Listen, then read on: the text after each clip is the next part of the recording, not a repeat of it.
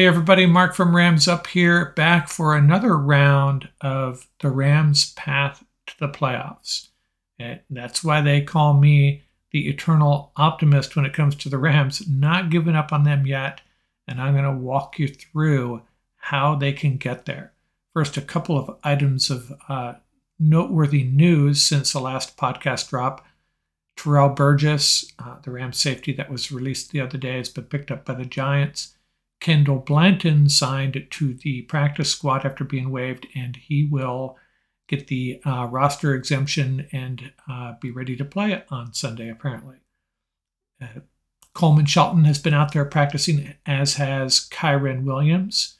Matthew Stafford, still a no go, and it's looking like it's going to be Wolford or Bryce Perkins. And like I said, I'm going to drop a video probably Friday night, Saturday morning discussing which quarterback should play. I'm going to weigh in on that, and I'm not even sure where I'm going to come down on that quite yet. But let's get back to our weekly drop here the Rams' path to the playoffs. And I'm talking NFC only here, obviously.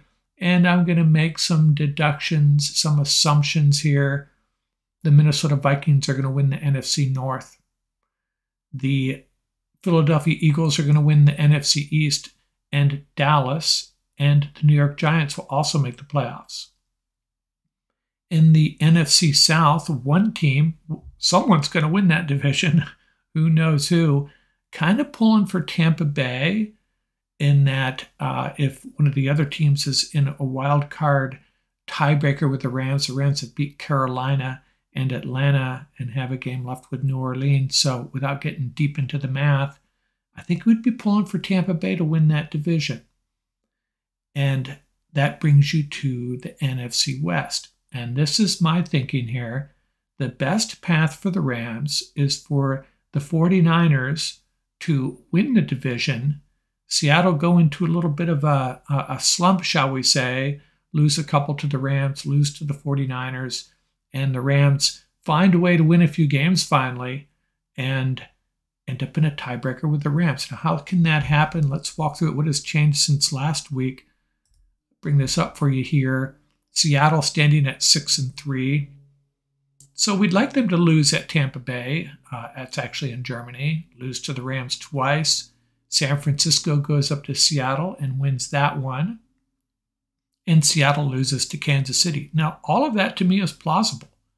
Uh, we have to hope they lose uh, against the Bucs and the Rams obviously have to get better and win some games, including two against Seattle. And remember, one of them is the season ending game at Seattle, and that's always a tough one. I remember years ago the Rams went up there, uh, the closing, the ending game of the season, the last game of the season on a really cold night, had to beat Seattle with Sam Bradford, and it didn't happen, and the Rams missed the playoffs. Uh, but are other games, three games at home Raiders, Panthers, and Jets. I- I'm not convinced they're going to sweep those. So even if the even if the Seahawks lose, or shall I say win one of those games, I'm hoping they lose, aside from the Rams game, Tampa Bay, San Francisco, Kansas City, uh, there's some possible losses at home for them between those, especially the Jets. Jets and Raiders could both beat them, I think. So you get back to the 49ers. Now, we're actually hoping they win a few games, uh, especially against Seattle. And how about the Rams?